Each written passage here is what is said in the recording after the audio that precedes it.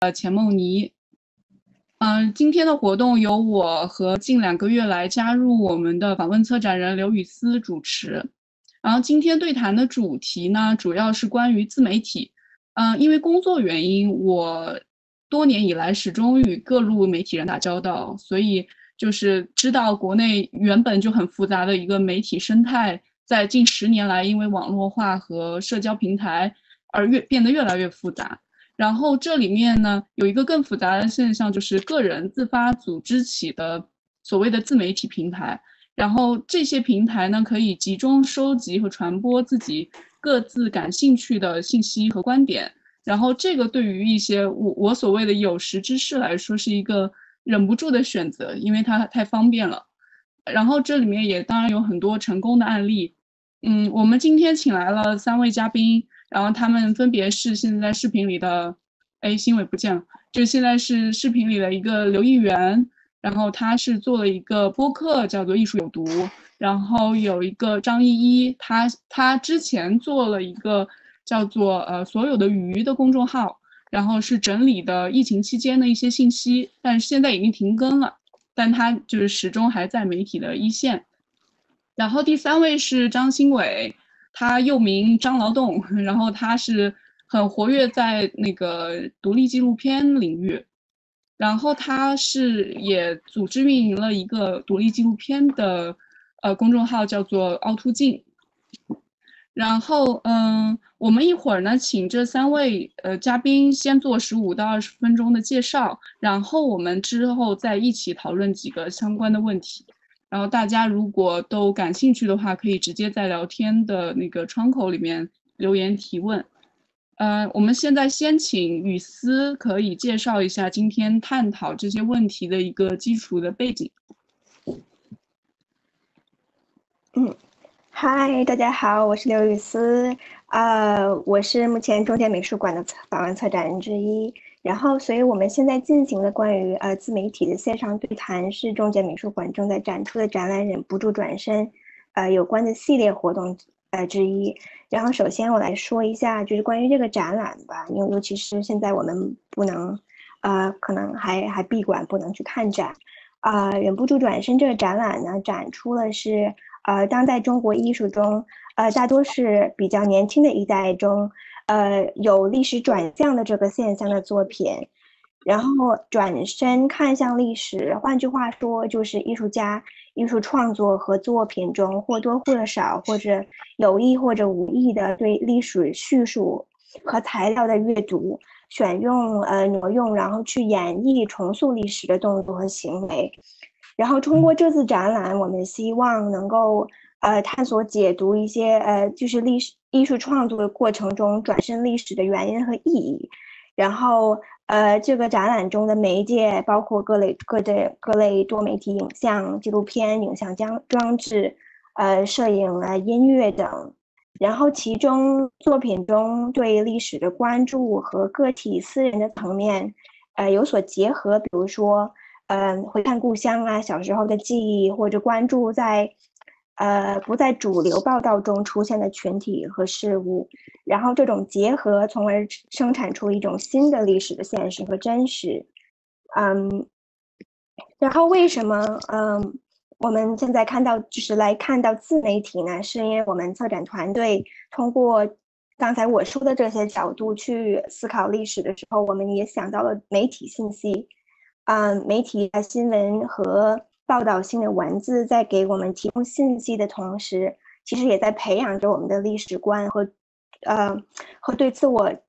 以及我们就是自己对世界的认知，并且在不断的让我们去储存、创造个人和集体记忆，啊，以供未来的取提取。然后从自媒体这一方面呢，就更是有特色和特点。呃，首先我先提供一个对自媒体的大概的一个定义吧。嗯，自媒体是指一种。呃，比较私就稍微私人化、平民化以及呃自主化的一种传播呃传播者和传播方式，然后是一种以比较现代化和电子化的手段，然后它的对象是呃不特定的大多数或者是特定的个体，呃单个人的传递，然后是又可以有规范性又可以没有规范性的信息，这种新媒体的总称。所以这个比较复杂。但它有时候也会叫个人媒体或者草根媒体。然后自媒体的特别之处呢，我认为就是在官与官方媒体的不同，是因为自媒体在把握一个正在呃经历的历史时刻中呢，常常彰显出非常强烈的个人特色。因此，自媒体的创作和我们呃展览的主题所关注的正在进行的呃历史叙述和个人层面的缠绕的关系是有平行之处的。嗯嗯，大部分这就是关于呃。我们为什么做这个展览？关于这个展览，以及和呃衍生到自媒体现在这个对谈的原因和和背景。然后我们首先，嗯，我们第一个的发言的呃分享者是呃刘毅元，然后刘毅元，啊也可以叫三米，嗯，他是毕业于伦敦呃苏富比艺术学院，从事艺术媒体的编辑记者工作很多年。二零一五年时候，啊，他创作了，他创建了 Almost Art Project 素人艺术节和北京的呃 Tabula Rasa 画廊，同时他还在做一档呃艺术读书的播客节目《艺术有毒》，大约是呃双周更新。所以，嗯，我们现在先有请嗯 Sammy 为我们来做一个分享。好的，谢谢啊。谢谢雨思。然后其实今天我是非常没有按照就是两位主持人给我的要求去准备 PPT 啊，就是因为 我觉得我昨天晚上在尝试要去做 PPT 的时候，发现真的音频节目太难了。我没有天然的这个弱势，就是本身就是一档完全需要用听没有视觉的这么一个节目，然后要去准备一个关于我们的 PPT 有点难。我尝试着呃做一下，嗯。我共享一下屏幕，对吧？然后我们就可以看到。嗯，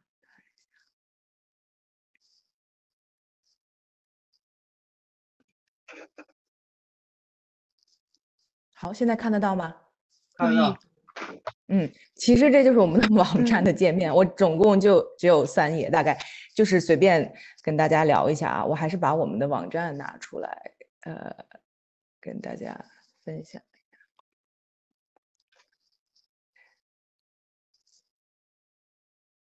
对，就就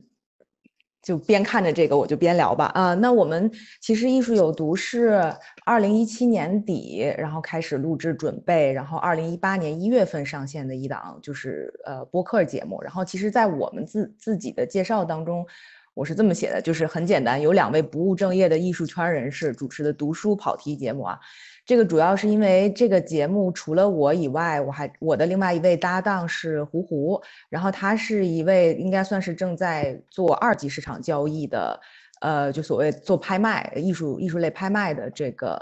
嗯，这么一位艺术圈人士吧。然后在在他做拍卖之前，他也跟我一样，其实我后来算了一下，我可能做呃媒体也没有太多年，就大概做了四五年这样子。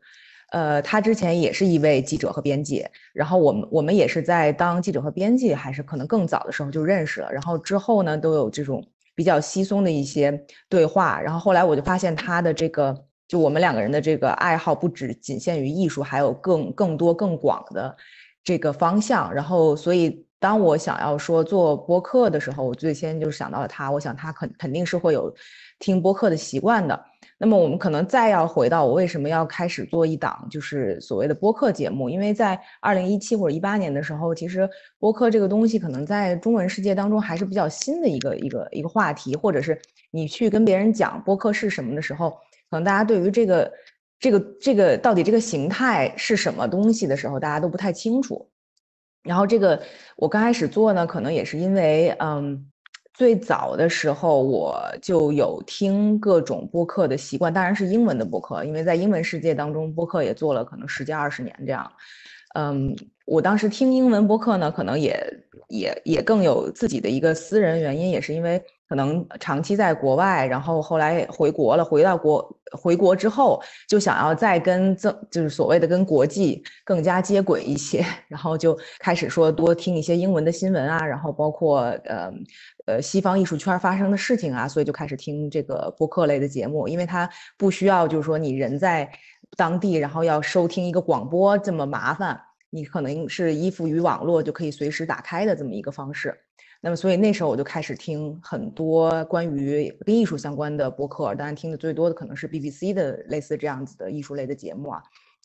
然后呢，再之后呢，嗯，我在开始有意识的会去找一些想要了解一些就是艺术类的呃中文的播客，然后那时候就发现其实很少，非常非常少，几乎没有。呃，有的我那时候可以找到的，基本上都是比较严肃的，像喜马拉雅会开一些关于艺术史的课程，是一些教授去像念稿子的这么一个方式。然后那种东西我就觉得它太枯燥和乏味，对于我来说不是那么有趣。嗯，所以我就想说，如果是这种情况，为什么我不可以尝试着自己去做这么一档节目，做一个，呃，我自己都会有兴趣听的这么一个节目呢？就是最开始的一个一个初衷可能是这样，然后，嗯。所以，呃，还有一个我觉得最大的原因，就是因为以前是做媒体嘛，然后可能我一五年之后开始进入画廊领域，就是开始做画廊了。那么其实就跟以前做媒体的整个的整个的这个生活习惯啊，然后包括工作习惯就完全转变。那么以前做媒体，可能大家都知道，就是你可能早上要大量的看各种各样的新闻，你要知道你每天，因为你每天都要写微信嘛，然后公号啊什么的这种，嗯。你就要大量的去汲取这些艺术圈的新闻，然后来知道到底发生了什么，因为这是你的工作的一部分。那么变成了这个呃做画廊之后，你就发会发现你离很多信息呀，离很多嗯所谓的艺术圈的知识啊，你就是越来越远了。所以呢，我就一直有一点 FOMO，就是所谓的这个这个叫什么呃恐惧。呃，社交什么恐惧社交什么症之类的，就是很怕错过什么新闻的这么一个人，然后再加上以前媒体养成的比较好的习惯，所以我依然是每天可能会看一类一到两个小时的这个艺术类的新闻。我想说，那我既然已经有了这样好的一个习惯，然后我又这个人又很 formal，然后我又想要去，嗯，有一个自己的发声平台，那么其实我觉得播客是一个。对于一个已经有全职工作的人来说，最方便和最简单的这个切入方式，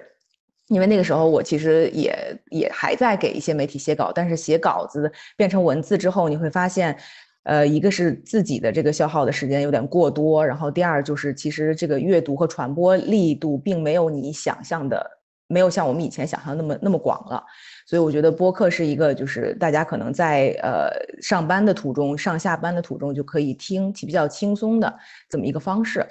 嗯，然后我当时我们找到胡胡，我跟胡胡一起做这个节目的时候，我其实最开始最开始的想法其实就是一个比较轻松的聊天的，聊艺术圈的事情的这么一个博客。但是那个时候胡胡也说过，就是我们呃两个人的在艺术圈的身份有点过于。有一点过于尴尬，就是有可能有很多关于，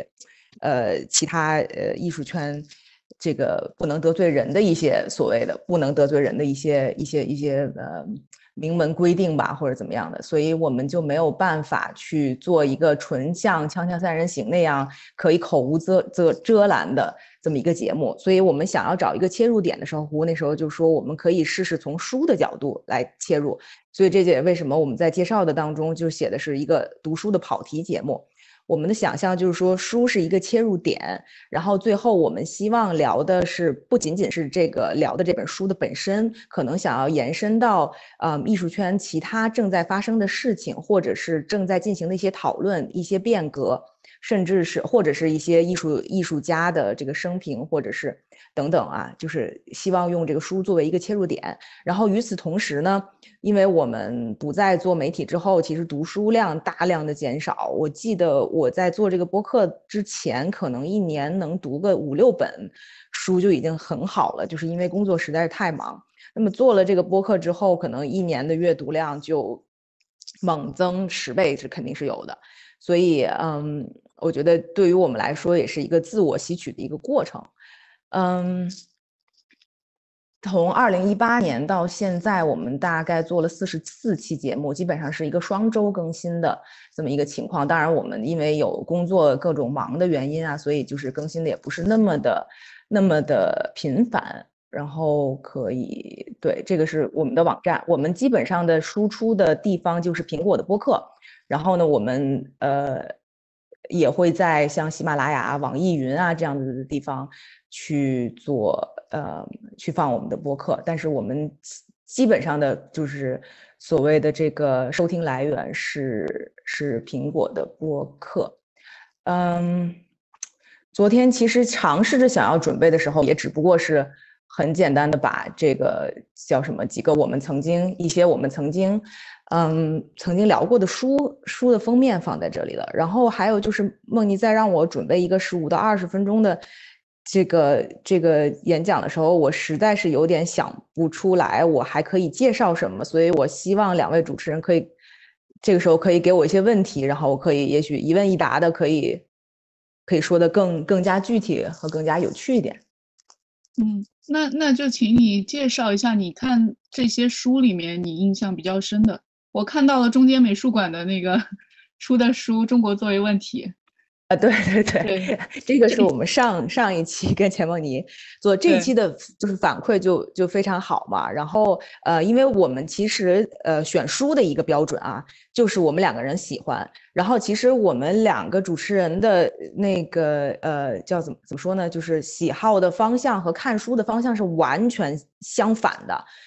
嗯，所以这个也是一个比较好的互补，就是说他可能会看到的一些书，我是之前从来不会在我的朋友圈或者在我的视野内出现的，他会告诉我有这么一个书挺有意思的，那我会去翻一翻。然后，呃，我这边也是，因为我因为自己这个工作各种原因，我现在又回到了这个英国伦敦，所以，呃，我看到的英文的这个英文世界的书会比较多。那么我也会去给胡胡推荐，然后我们就也会去讨论一些关于英文的话题，英文的这个书的话题。然后，尤其是我觉得可能我们呃聊的比较多。刚才说到自媒自媒体的一个呃一个一个特性，就是说，嗯。嗯，就是大家的这种观点是很强的，就所有的自媒体，他们是有非常强烈、强的自我立场和观点的，所以其实对于我们来说，这个也是非常重要的。我们因为在聊书的时候，我们会比较不留情面的去说这个书写的好不好。当然，我们呃就是不会去聊一一本很烂的书啊。但是就比如说这个书有很大的我们自己觉得很大的 bug，我们就会很开诚布公的跟大家说他们有很大的问题。然后包括有一些非常非常好的英文书籍，就比如说中间这个就 Lonely City。这本书，然后嗯，包括我们之前还讲过一些，这个里面有没有嗯，可能没放在里面，有个《白瓷之路》啊等等，就是一些非常好的英文书籍，他们在英文世界当中的反响是很大的。然后翻成中文的时候没有什么回响，我就觉得很奇怪。然后最后读了中文之后，就发现翻译的一塌糊涂，我就觉得这些非常基础性的错误是应该在节目里强烈批评的。那么我想。当当他们的编辑啊，或者是有什么听到的时候呢，他们也会去，嗯，就反思一下，为什么这么好的一本书在中文世界里没有产生任何的反反应？百分之九十的原因都是因为这个翻译的太差，而且甚至翻译当中有很多事实性的错误。我觉得这个都是。就是我们作为一个前编辑来说，看起来是非常非常不能接受的一种错误。我觉得这些事情是没有人之前去指出的，包括我们可能现在去看一些书评，大部分书评所讲的东西都是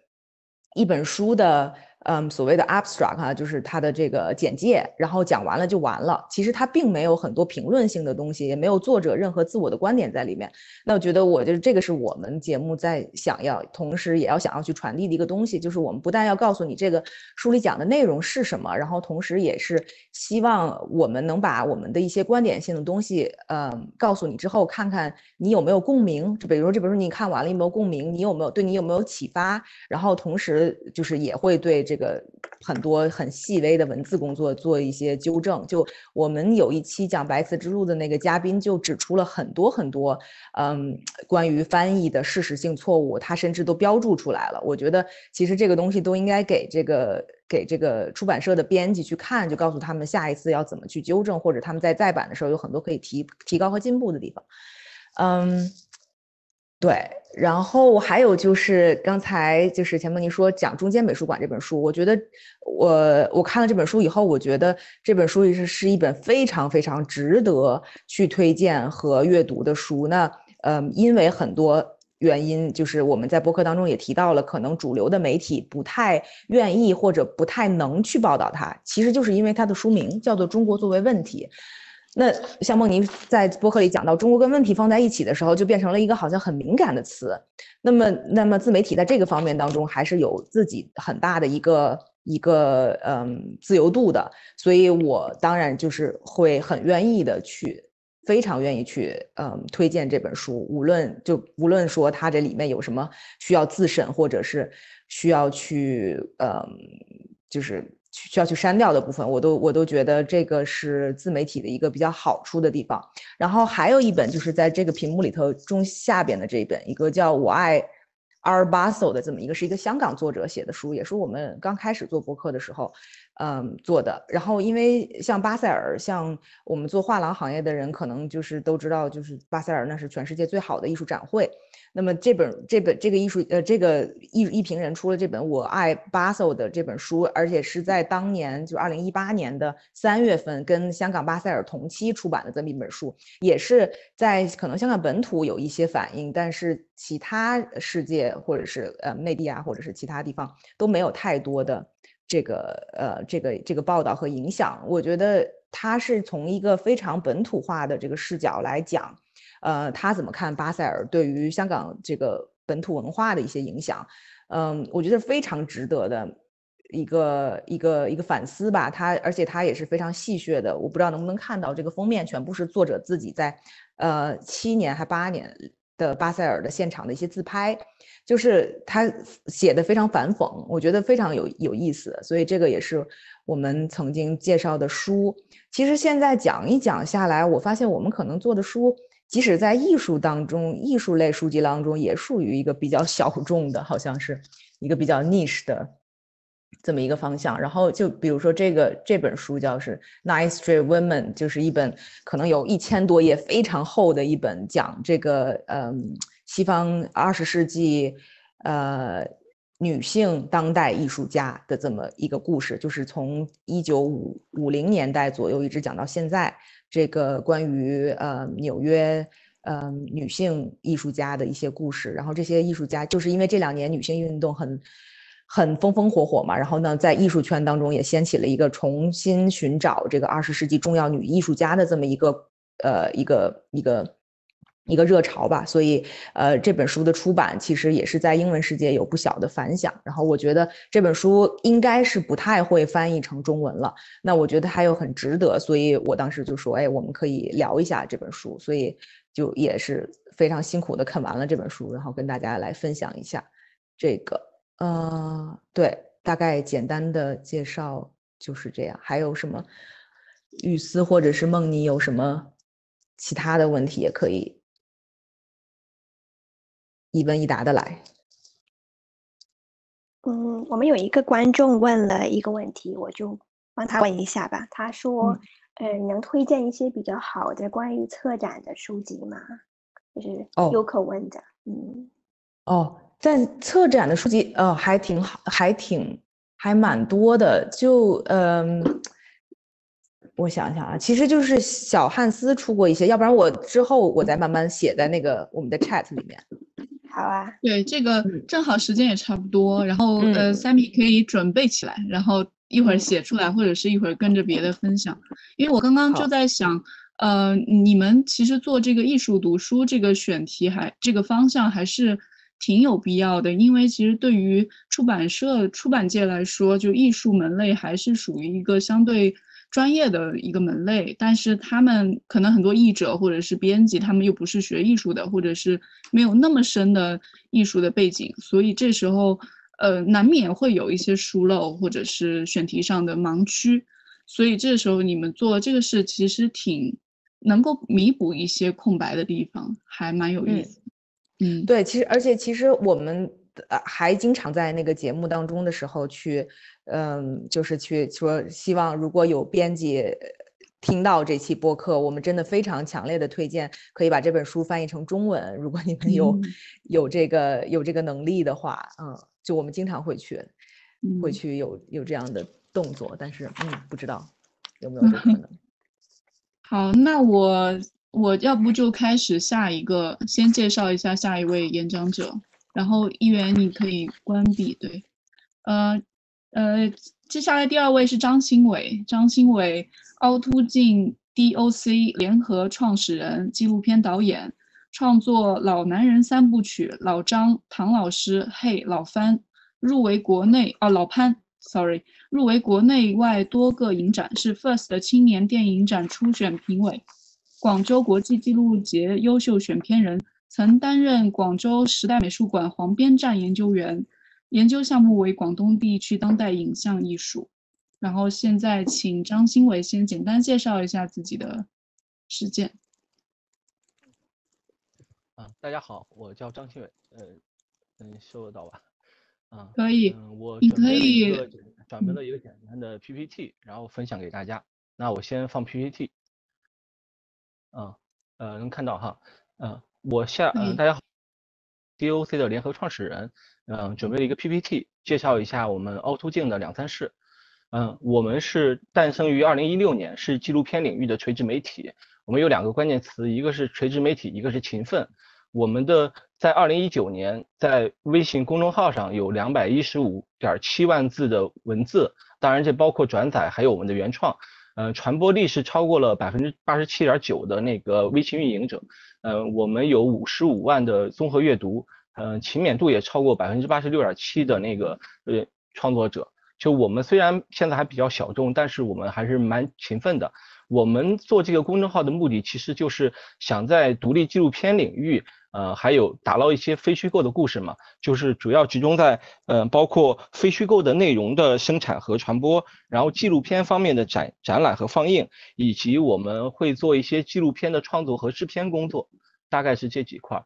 啊，这是我们之前做过的活动，嗯，我们和那个知乎合作过一个非虚构写作叫《监狱残酷物语》的一个呃付费阅读，啊，这个在知乎上可以做，然后还跟那个呃深交。做了一个影评大赛，我们是负责纪录片单元的影评。呃，我们自己做过线下放映，是那个凹凸放映，从昆明出发，已经做了第五期了。然后我们现在呃比较推的一个叫线上公阅计划，已经做到第九期，就是在我们会有一个呃公阅群，然后会把影片分享到网上，然后大家。一起呃一起在群里讨论，我们也会邀请那个片子的导演或者是嘉宾在这个群里进行讨论。这个在疫情之前就疫情之前就开始做，然后因为疫情，然后参与的人就越来越多了。呃，同时我们一些合作的平台，我们是今日头条的优质内容创作者，还有澎湃号有个派克号的嗯最早的入驻者，然后在知乎、搜狐、mono 和大风号，包括腾讯、网易都有一些那个。呃，相应的一些账号，我们之前是跟 Force 的合作过，我们是它的深度合作媒体。然后广州国际纪录片节也是他们的那个深度影评媒体。山一啊，然后纽约华语，然后就是厦门的 High Shots，西湖国际纪录片大会以及北京的国际绿色电影周，我们都是合作媒体。呃，这是我们的一个简单的框架。我们大概凹凸镜现在的核心运营成员是十几个人，有分为四个部门，就是运营。编辑、对外以及财务，财务这块比较少，因为我们现在到现在很很不好意思，就是还没有盈利啊。嗯，我们主要是就是最重要是运营，负责刚才说的那些平台的公众号、平台号的一些运营，包括我们有一两个微信群，嗯，有两个微信群，基本都已经到五百人了。然后还有线下展映和线上攻略。嗯，我们的稿件是怎么做的呢？首先我们是会有一个呃自己我们自己。编辑记者会自己写稿，有原创内容，然后我们也会呃通过一些平台去去对创作者进行一些约稿，然后这个也分国际国国际和国内了。约稿完以后，我们会交给那个编辑进行一些稿件编辑，还有排版，嗯，然后同时我们也会翻译一些国外的一些呃纪录片方面或者非虚构方面的一些文章进行一个自我翻译，然后对外呢就包括外联、商务合作和电影节的合作，嗯。这是我们做的之前做的三个选题。我们曾经做过一个二零一零年代十佳华语纪录片评选，大概是邀请了二十六个导演呀、专家学者，然后他们最早出了一个四十六部片子的一个片单，然后网友进行投票选出了这十部作品，然后这十部作品在中国的独立纪录片里面算是非常非常优秀的，我个人推荐大家这些片子可以看，虽然可能网上还没有资源，但是呃我们也有时候会组织线下放映，也希望这些片子能够让观众更多观众看到。呃，然后第二个是我们做了一个凹凸 woman 的一个女性专栏，现在已经做到四期了。这也很巧，就是我们的粉丝，我们的粉丝画像里面，其实男性是占到百分之五十八，女性是百占到百分之四十几。然后有的有一个那个观众就会说，我觉得你们那个呃公众号做的挺好，但是就感觉那个直男味儿太重了，就感觉直男味儿太重。但实际上我们的十几个编辑记者里面，嗯。男生男性只占了四个，所以其实我们有发现，就说，哎，不知道为什么会出现这种情况，所以呃也应了我们的读者以及我们的女编辑说，我们要做一个女性专栏，所以我们在每个月的八号那一天是我们的 Auto Woman 的一个女性专栏的一个呃一个节日吧，然后就是现在已经做了四期了，包括和卢彻卢舍之春合作，包括我们也评选了一个推荐了一个就是比如说二十个。嗯，中国的优秀的女性导演的一个呃推选啊，然后最近我们还做了一个叫武汉的专栏，就是我们是一个纪录片方面的垂直媒体，所以我们经常会有一些呃，就是纪录片的朋友，还纪录片导演的朋友，还有观众，还有一些。就是想创作没有创作的人，所以我们在疫情期间建立了个群，叫武汉疫情纪录片人信息群。就是我们会有一些有一些外地的导演会来到武汉去拍摄，但是他去那儿就呃一问三不知，所以他会在群里发布信息，比如说，哎，我想要去哪个地方去拍东西，有没有武汉当地的一个纪录片呃摄影师或者爱好者能不能当一下向导？包括里面还会有一些，比如说，哎，我。嗯，就最近的，就是最近这个群还在活跃，虽然疫情已经快结束了。就比如说那个现在那群关于疫情的纪录片已经开始剪辑了，有些导演说，哎，我可能缺一个某个，比如说五大樱花的航拍，我缺一个镜头，我就会在群里和大家说，哎，能不能去去呃购买一下你的素材？我们建立这样一个交流群，然后信息信息量还挺大的，大家交流起来也很丰富。然后在疫情期间呢，我们做了一些非虚构的写作，关于武汉疫情的文章，我们转发了二十七篇，其中原创的是十篇，包括海外疫情和武汉外的疫情呢，是呃又是六篇，这是我们最近做的这个三个选题。然后这是我们做的纪录片方面的一个制片工作，嗯，我剪了一个简单的片花给大家看一下，嗯。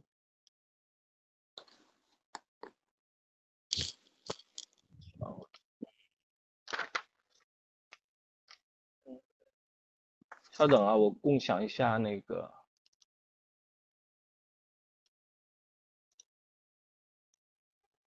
哦。嗯。你记得选共享电脑声音。有看到吗？嗯。有。有。嗯。我第一次上新疆去是做的卧铺，整整开了是三天两夜。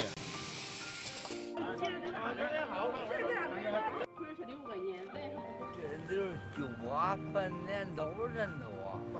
流浪的人见流浪的狗。他们满意了，他就愿意给你个免费拉倒，知道吧？因为下次他。咁平時咧都係作為一個學生去上課一至五，之後周六日咧就係作為誒會長啊教練去幫忙上課咁樣。他说我是神医。新疆的田也不好挣，这个网户，这个新疆的田也不好挣。你保护解决不了问题，啥问题都解决不了。太细个圈啊，打得上嚟，無論喺力度啊，同埋个美觀方面都唔好。係啊，我觉得我自己，你有你嘅教法，我有我教法。我我是真完蛋，死了。害怕，还怕死。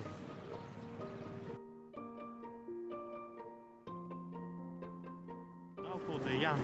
八十年代到现在完全改了。这个在欧洲很少能见到这个现这样的现象。欧洲是是稳定的。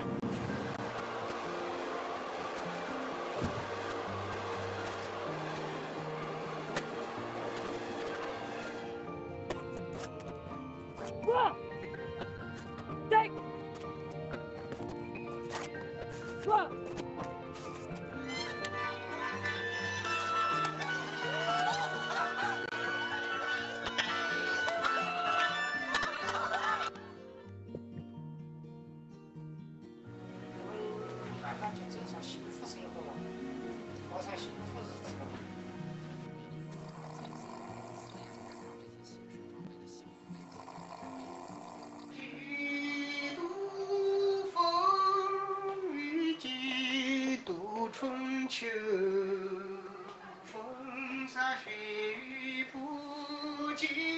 流。对，大概这就是我们的制片的工作。嗯，呃，然后我要共享我的 PPT。好的。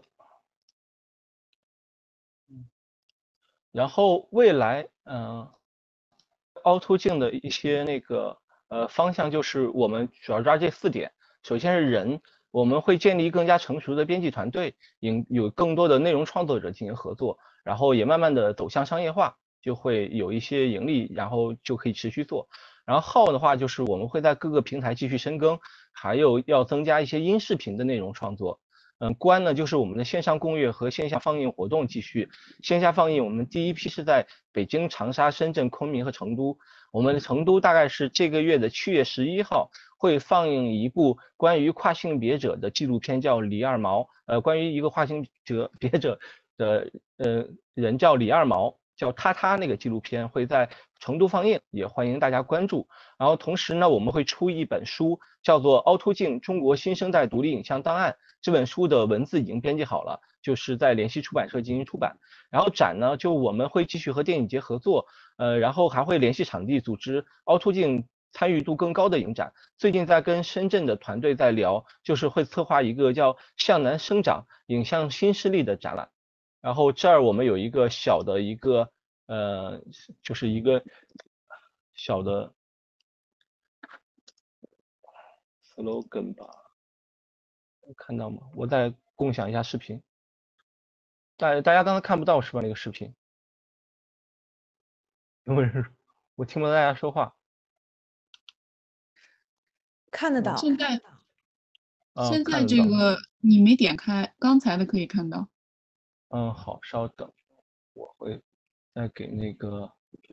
凹凸镜好。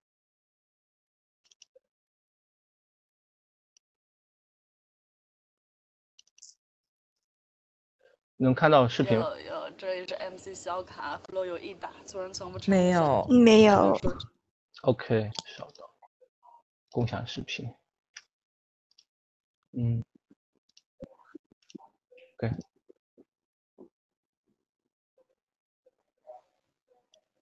有有，这里是 MC 小卡，flow 有一打，做人从不掺假。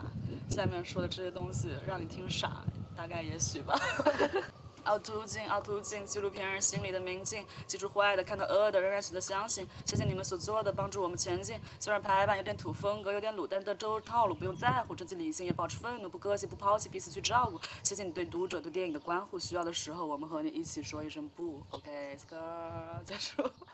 这是我们的那个女性专栏的一位作者给我们做做的即兴的做了一个 f e e l star，然后我的分享大概就是这些，谢谢大家，嗯。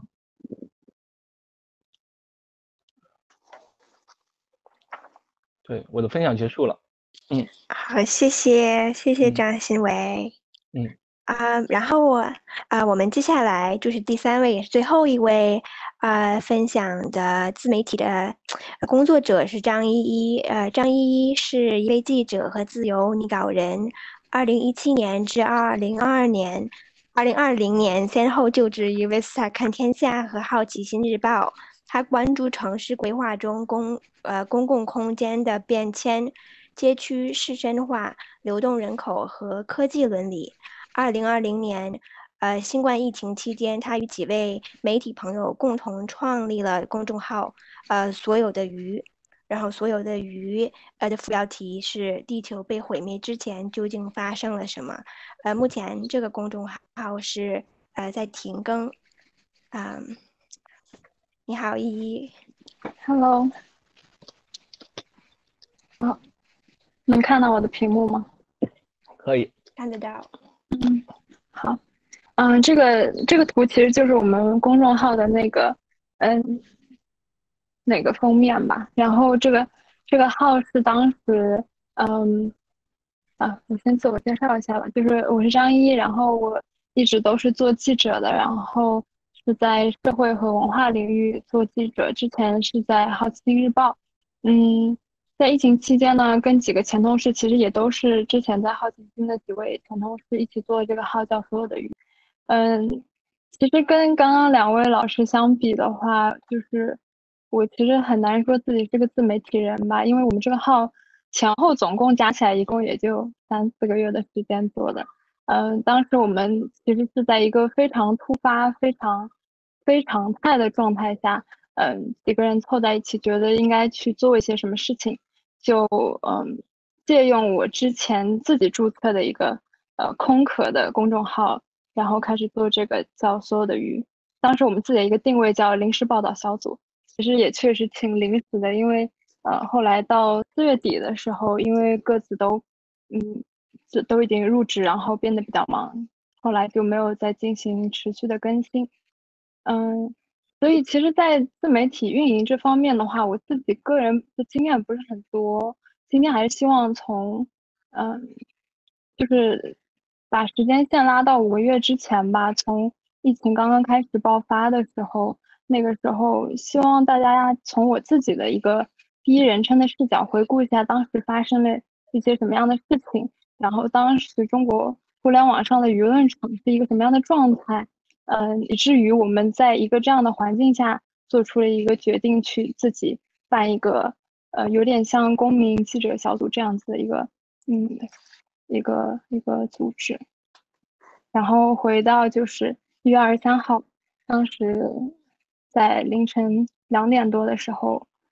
发出了武汉封城的消息。嗯，我记得当时其实是几个最大的主流媒体，也算是官方媒体吧，发出了这个消息。当时的口径用的并不是封城，而是说，嗯，武汉好像是到当天十点钟的时候会。关闭进出进出城的通道，其实就是一个实质意义上的封城。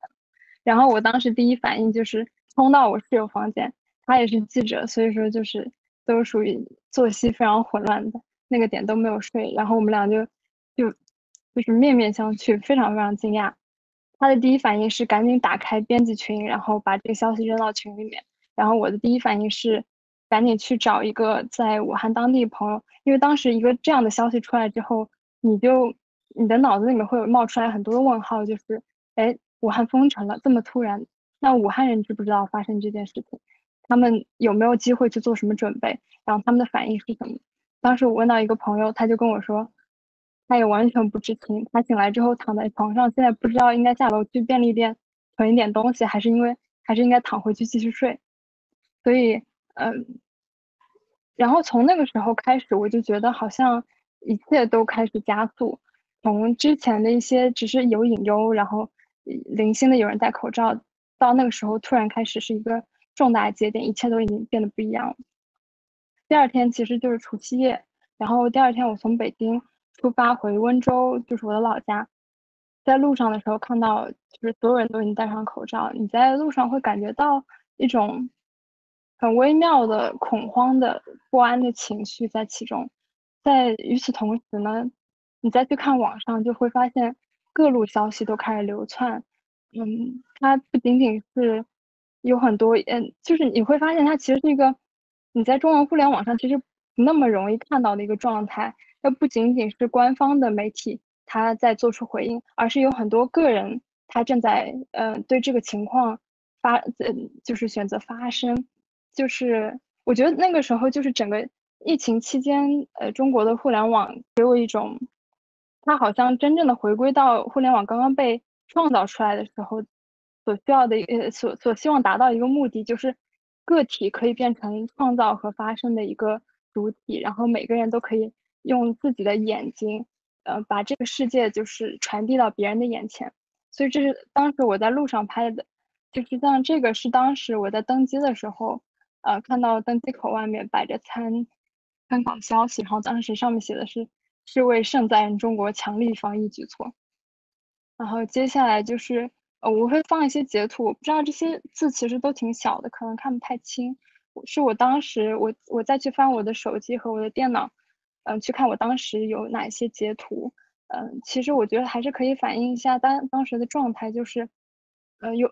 大家都在朋友圈里面发说，哎，我看到了什么，我看到了什么。我我发现好像我回村的时候，发现一棵大树被砍倒了，堵堵住了村子的路口。然后或者说有很多当时大家都看到的很多医护人员，他们用自己的个人号发出求救的信息，说，呃，我们这边已经呃什么东西都没有了，就口罩只够撑一天了，防护服是完全没有的状态，或者是被封在家里面的武汉人发出来说，我们家的口粮也只剩一天了，但我现在不能下楼，或者说我现在呃家里面有病人，但是打电话叫救护车没有人应，就是就是一个这样子非常混乱的状态。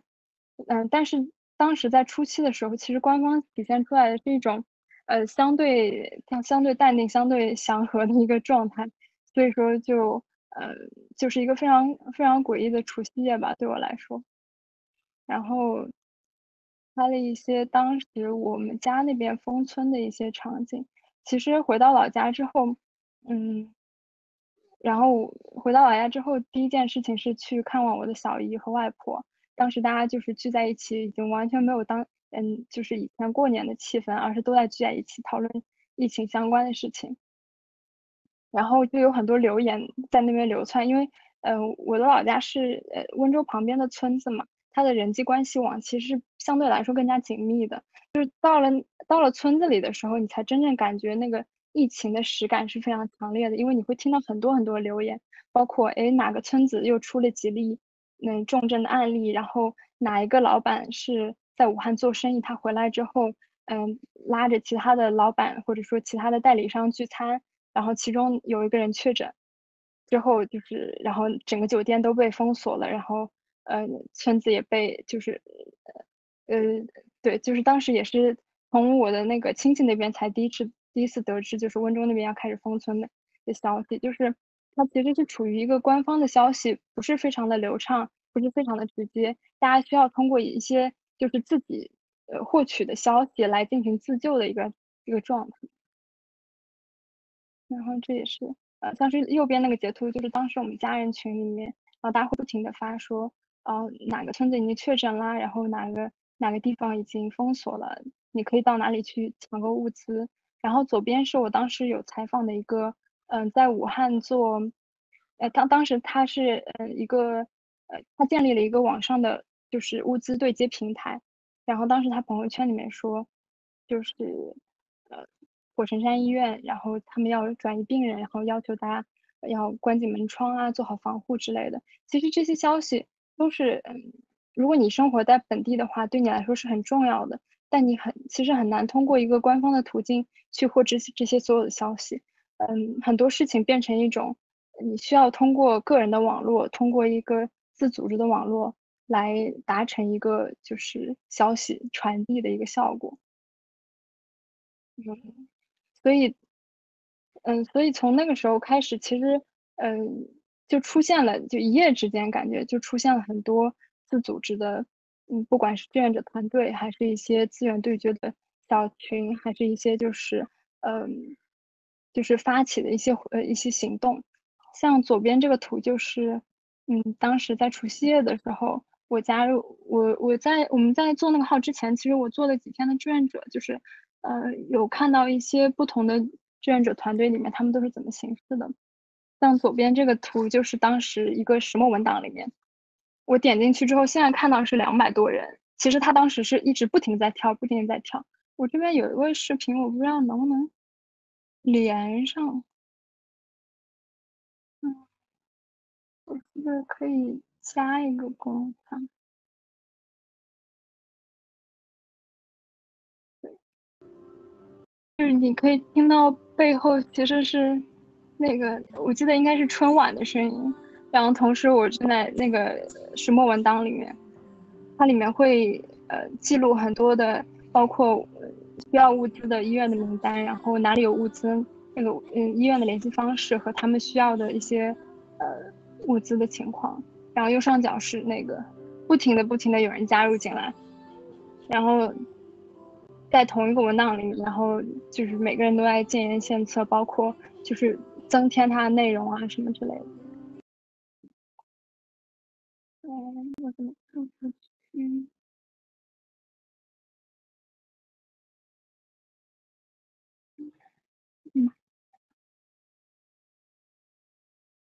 嗯嗯，对，就是这些民间自组织，其实起到了很多的作用吧。就是，嗯，不管是信息的整合，还是资源的对接，其实就是，呃，它在它是在一个就是你的常识和规则都失灵的情况下，大家的一个应急的反应。嗯，我其实就是嗯绕绕回今天的主题自媒体的话，我觉得其实自媒体也是一种你对于嗯当前的这个环境的一种应急的反应。我我需要去做一些什么，所以我需要去在一个这样的环境下，如果是呃比较极端的情况，就比如说疫情，其实这个嗯这些东西其实是你自己自救的一个手段。当你只有当你获得足够信息的时候，你才有更高的存活的几率。嗯，比如说举个例子，就是当时武汉出现的一个情况是，他所有的病人都是需要通过社区来进行，呃，就是就是他必须要由社区来帮你转运到医院的，就是你没有办法直接去医院。但是很多病人他出现的一个情况是，他根本不知道现在是这样一个情况，他去打医院的电话，他去打幺二零。没有人来接他，幺二零跟他说：“你必须要去找社区，我们这边没有办法接你。”就是你平常你认为的，我生病了，我比如说在家里就突然倒下了，打幺二零是会有人来接你，但这个这个情况已经不再存在了。当时就是很多的日常的规则已经不复存在的时候，你怎么样去呃发现现在真正的情况是如何的？然后你怎么样能够去找到嗯合适的途径来求生？嗯，这些都是需要就是各种各样的民间的力量去组织起来，去形成这个网络。我觉得民民间力量跟官方，就后来我们其实有一个稿子写的就是关于民间自组织和官方之间的差异。民间自组织它不仅反应更快，然后它更加的灵活和机动，而且它在很多时候是可以覆盖到就是官方没有办法覆盖到的毛细血管的，就是嗯，它可以呃。就是对于我们国家基层这个非常融融锐，然后非常庞大的生锈的基层的运机器的运转，起到一个相对来说，嗯，很强大的补充性的作用。像这个 PPT 里面左边那个叫口罩哨兵，是当时我朋友圈里面出现的一个还挺有趣的活动，就是他们会把口罩放在那个快递柜里面。所以，如果有人需要的话，就可以跑到那个快递柜那边去输入那个取货码，再把那个口罩给拿出去。它其实就形就是形成了一种在没有办没有办法接触彼此情况下，而交接口罩、交接资源、对接资源的这样一个效果。然后后来就是二十七号的时候，就是三天以后，我们几个人在群里面就突然想。就也不是突然吧，就是因为我们一直都在群里面分享，就是呃疫情相关的消息，然后那个时候就想说，我们是不是应该做点什么？现在我再去回想那个时候，呃，我们到底是出于一个什么样子的动机的话，我觉得对我个人来说，其实也是一种情绪发泄，就是你在那个情况下，你需你必须要做一点什么来保持自己情绪的稳定，保持我不会在那个情况下被这么多涌入的信息。给搞疯掉！我我经常跟我朋友就是问一个问题，说如果现在第三次世界大战爆发了，那我们应该做什么？就是我我常常会想，就是在这样一个危机的状况下，我希望在里面扮演一个什么样的角色？我觉得就是因为呃我们都是媒体人，然后一直都在做呃新闻报道工作，所以你就下意识的觉得我应该用这样的方式，在这样一个混乱的场景里面找到自己的位置，确定自己的位置，让自己。嗯，那让自己能够就是安定一点点，然后包括就是对我来说，其实也是回答我自身的一些困惑，因为当时信息实在是太纷杂了，又有很多的问题，所以你怎么样通，就是你怎么样拿到一个合理的身份去介入这件事情？因为我们当时都已经不是啊好奇心的记者了嘛，所以你怎么样用一个身份去介入这个问题？所以我们选择身份就是做一个自己的自媒体，做一个自己的号，然后呃，其实其实真正再去看的话，我们一开始的运转模式跟在好好奇心或者跟在任何一个媒体做报道都是非常相似的。从找选题，然后找采访对象，找资料，然后像我们还会有作者啊、编辑啊、排版这样子，就是非常常规的呃一个媒体的操作。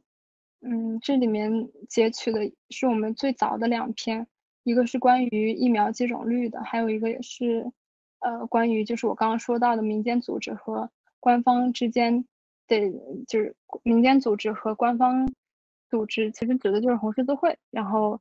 两者之间行动的一些差异和逻辑的不同，为什么会形成当下的很多问题？比如说，当时红红十字会是处于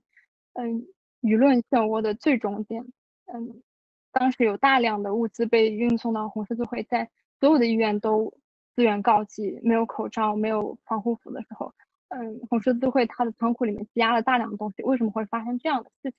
这是我们当时想要去解答，想也是自己感到非常好奇的事情。我觉得就是，呃，我们自己的一个嗯定位吧，就是我也不觉得我们真的可以去在这个像那些志愿者小组一样，在这个里面起到非常大的作用。但是，嗯，对我们来说，作为一个新闻人，可能你能做的就是报道正确消息，然后呃去传达有效的信息，然后创造有意义的讨论，就是这样。嗯，到后期的时候，我们其实因为。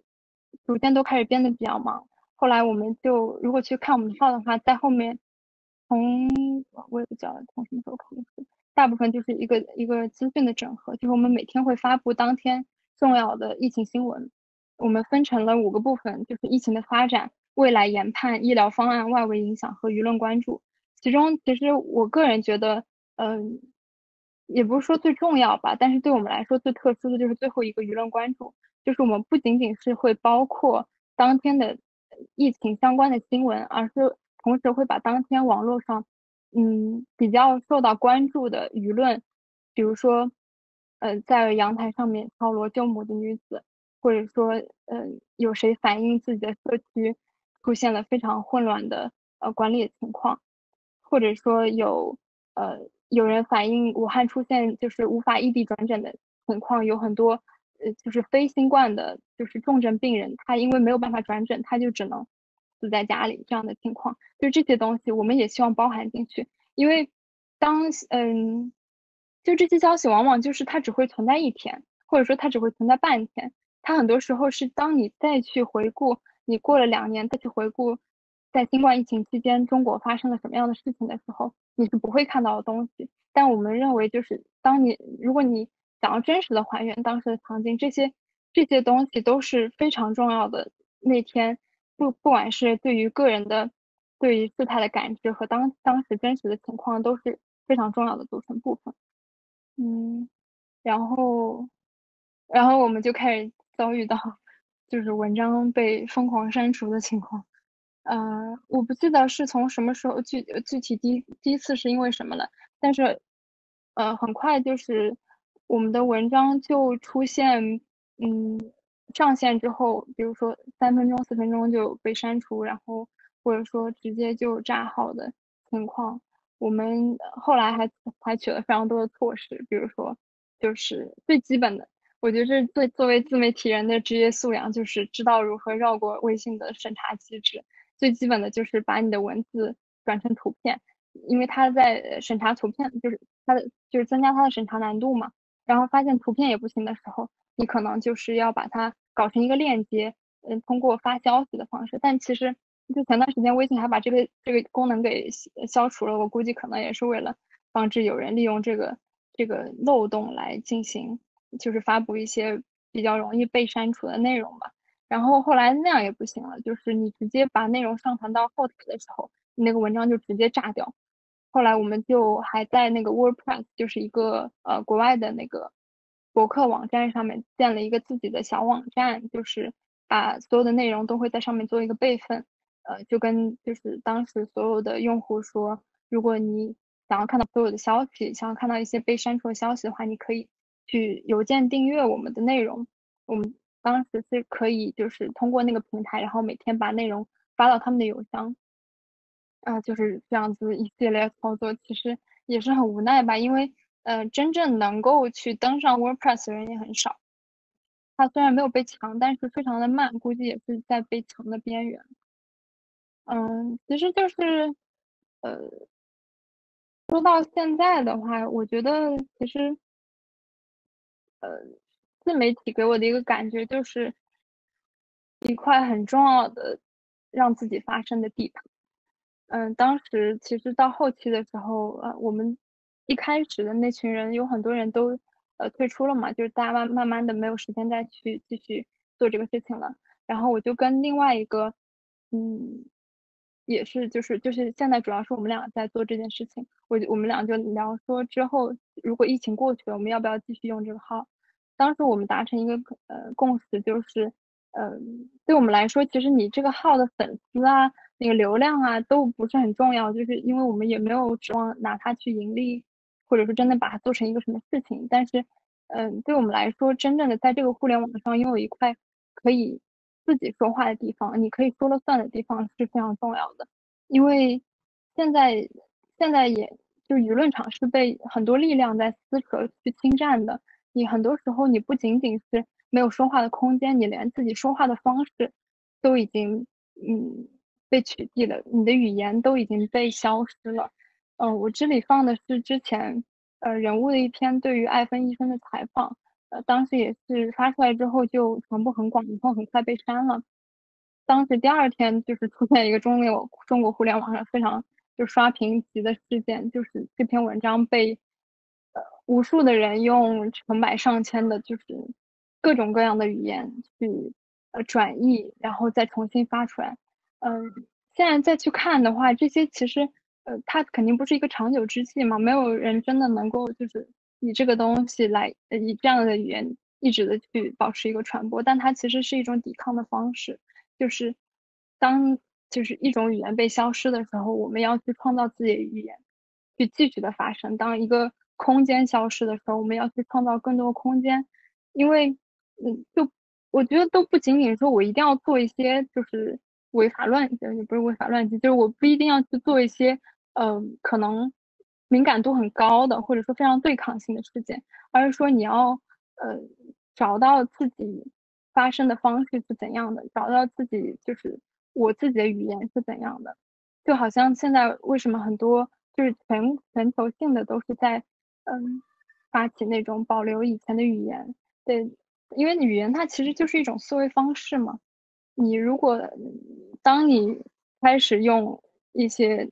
字母和拼音来代替别人的名字。当你开始用一些非常泛滥的网络化的用语去去说话的时候，其实你的一部分的思考的能力和，嗯，就是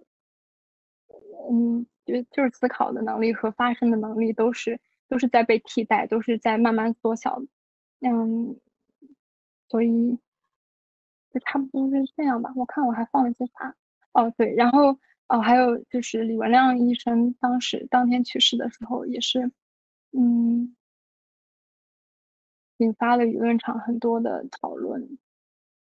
这个是我后来的一个感慨吧，就是我会觉得，呃，疫情期间中国的互联网，就是微博吧，微博啊、豆瓣啊、微信朋友圈，它呈现出来一个就非常规的状态。当然，也是因为当时的审查的一个窗口期，就是对于国内的媒体也是。会看到突然在几号啊？我估计是二月上旬的时候，突然那个窗口期就消失了，然后很多报道就发不出来了。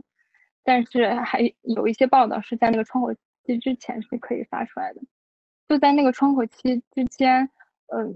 突然中国的互联网上面出现了很多很多鱼龙混杂的消息，嗯，它里面是夹杂着很多很多有问题的、没有不经证实的谣言的，但是也是正是通过这样的一种方式。很多的真相，很多的，就是个人故事，可以更加快速被传播出去。你不再是被一个就是更大的力量所统领的状态。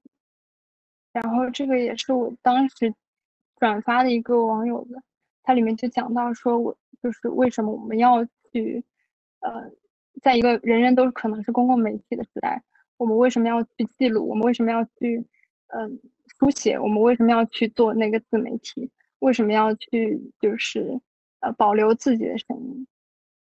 它里面有一长段的，其实就是，它里面这一段讲到的一个核心的观点就是，就是。我们要创建一个共同的创伤记忆，然后这个创伤记忆需要是由我们每个人都 contribute 在里面的。我们，然后正是在在你理解和嗯理解和体认别人的他人的苦难的同时，我们才能防止自己再去犯过去一样的错误。就是这样。好啦，我讲完啦。好，谢谢依依。嗯，我我刚要说，其实因为当时我我看到依依他们转发的这个所有的鱼的呃消息的时候，其实已经是他们后期了，是他刚刚说的那个资源整合，就是整合一些当时的报道，还有呃国内外舆情的情况。然后那个时候，我当时的看法就是，终于有人就是在做这件事，就有系统的做。因为我自己当时的想法就是，呃，因为出现了太多常非常规性的信息和观点，然后大部分我们天天刷那个互联网的时候看到的都是一些，嗯，或真或假的谣言，或者情绪，或者是，呃，一些自个人的一些阴谋论，或者是也许是揭露真相的一种猜测。但是我其实觉得最重要的还是守住那个事实。这可能跟我之前的那个职业习惯有关，就是觉得，呃，官官方媒体记录下来的确实发生的事件，还有确实，呃，被被被记录下来的数字，这些是构成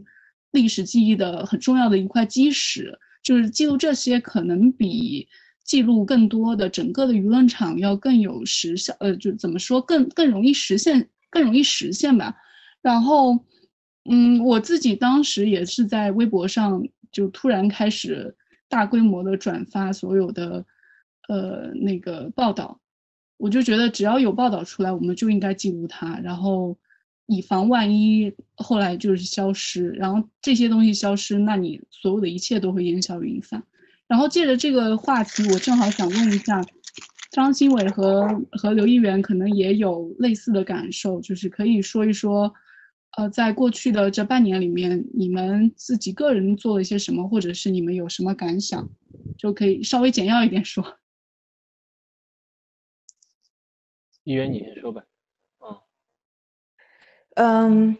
就是因为刚才钱梦妮说，就是我们做的是一个比较更小众的分类嘛，就是艺术类的读书的节目嘛。那所以其实从表面上看来，我们对于正在发生的社会上的一些事情的。嗯，就是连接性并没有那么强，但其实我们一直在努力。就我刚才说，我们做的是一个跑题节目，我们的一个切入点是书，但是我们希望从书的这个切入点来输出一些我们的观点，就是可能对于很多事情的观点。这也是为什么我当时看了那个中间美术馆的那本《中国作为问题》的出版物之后，觉得特别值得讨论的一点。我觉得那本出版物在我看来也是起到了相同的作用，就是在我们这个。嗯，大环境的舆论讨论都变成不可能的时候，那我们能在我们自己所在的行业内有什么样子的讨论呢？我们可以做什么样子的讨论呢？其实都是一种变相呃所谓的曲线救国的一种方式。包括你这个呃，我们可能看到了这几个月当中很多所谓的民粹主义的抬头啊，然后嗯，就是这个这个民粹主义是在全世界范围之内。嗯，发发发生的这么一件事情。那么我们在中间美术馆《中国作为问题》的这本书里也看到了很多关于边界呃的讨论，关关于什么是亚洲的讨论。就是我我自己的感觉啊，是这些这些方式的讨论都是我们从艺术圈内部是可以也可以做得到的，然后又是没有那么踩红线的一种方式，在讨论。现在社会上发生的一些事情的一个回应，那我就希望我们在做节目的时候也可以多，呃，用这种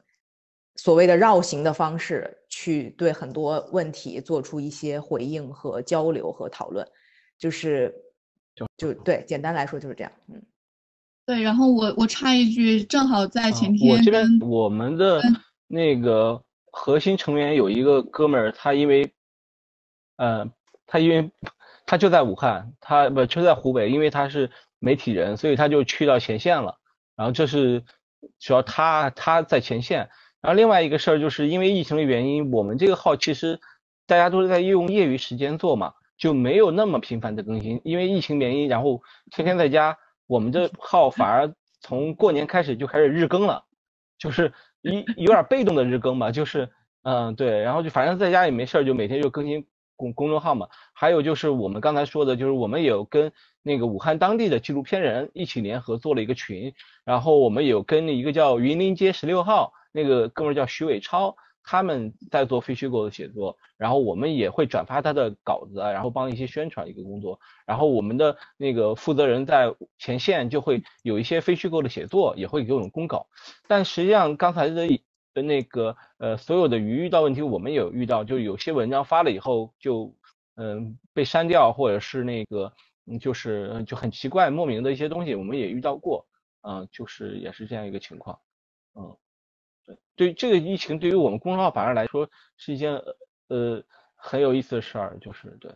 就我们更其实更更不是更有点责任心，就觉得哎我们的号能做一点事情，希望能帮助大家，可能这种东西多了一点，嗯，对，就是凹凸镜可能是呃真的去做了这些相关的选题或者相关的事情，然后像刘议员刚刚说的，其实有一点像是你们通过。呃，对选题和书的筛选来来表达一种价值观，来传播一传播一种你们想说的那个批评批评的声音，所以就这就是不同的，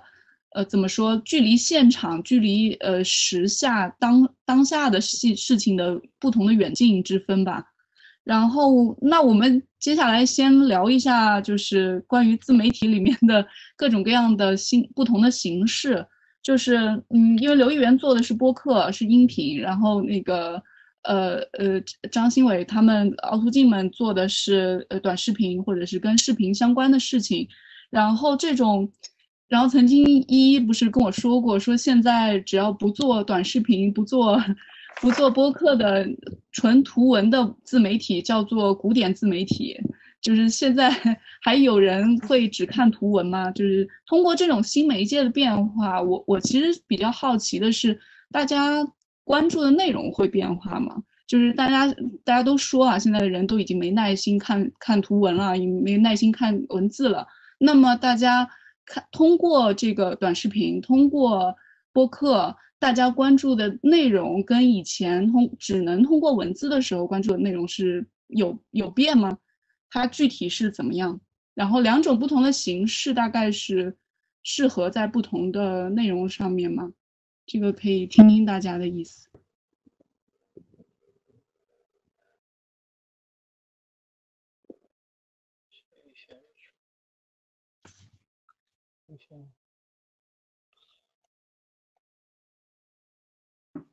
你先说，嗯。嗯，我们是这样，我们昨天刚发了一条是一万多字的，我们真的很感谢读者，有有一千多人看。我其实那篇文章发完以后，我估计我说，因为讲普利策的，讲普利策，讲那个美国的，我觉得这种好像也不会有阅读啊，没想到有一千一千多阅读，我还挺感谢读者能够看完的。然后有读也也留言说啊，看完以后有一二三点的感受。我觉得呃，就是如果你是你的文章，你的文字足够具有。吸吸引力，或者你的文字足够好的话，这种非虚构写作永远是有市场的。反而说，比如说那种花里胡哨的所谓的呃短视频呀，什么东西，最后没有营养，那种也是昙花一现。所以，我我并不认为说文字就是传统古古典的，我是认为没有新意的文字，或者是照搬的照搬就是纸媒，或者是照搬呃官媒发的文章，然后复制到新媒体、复制到微信公众号里那种是古典的。就是我相当于我多了一个平台，我认为，呃，新媒体的平台，它的文章，它会有一些不同的东西，包括它的排版，包括它的设计，会有一些不不同东西才能够吸引吸引到别人啊。我其实还不太不太那个同意那古典古典自媒体的这个说法啊，就是因为你说播客其实就是广播嘛，对吧？那广播其实可能跟这个文字媒体，呃，说不定哪个更早呢？就呃，当然不是说不定哪个，就肯定是呃，也是上百年，就是有广播之后就就有这么，而且是以。就是很长时间在电视没有发明之前，广播其实是一个非常大众的一个媒体。那如果现在看起来的话，那它不也变成了一个古典媒体？但是我觉得，就是作为播客或者是广播这一类型的媒体的好处，就是说，嗯，无论是文字还好也好，也图片也好，还是这个视频也好，你都是需要一个你定在那里，你不能不太能分心去干其他事情的。那广播的一个好处或者播客的一个好处，就是说，你可以在就是上班途中，你可以在做饭，你可以在跑步。你可以在画画的时候都可以去做的这么一个事情，它这个方面是有有一些先天的优势的。那么，但是我觉得很有意思的一个现象，我觉得就是我只是仅限于在艺术圈啊分享一个，就是嗯，其实现在国外有很多这个非常大的艺术类的资呃艺术类的播客号，它最后的落地。我也不知道，我不太清楚他最后的落地，呃，是为了赚钱还是怎么样？但是他们是走向出书的道路的。嗯，现在有几个很大的这个艺术类播客的号，他们都在做，就是他们可能收听有几十万的这样的的量啊，在西方来说是非常了不了不得的这么一个一个一个数呃收听数字了。嗯，他们最后都是说，他们要在今年，他们可能做了两三年之后，要在今年内出一本书。当然，我不知道这个书最后会呈现的方式是说，是他们播客里面的所有的文字整理内容，还是怎么样的。但是他们最后会落地到一个真的是需要，就是变成了很古典传统式的这么一个书的媒介。嗯，这个现象我也觉得就还还还挺有趣的吧。嗯，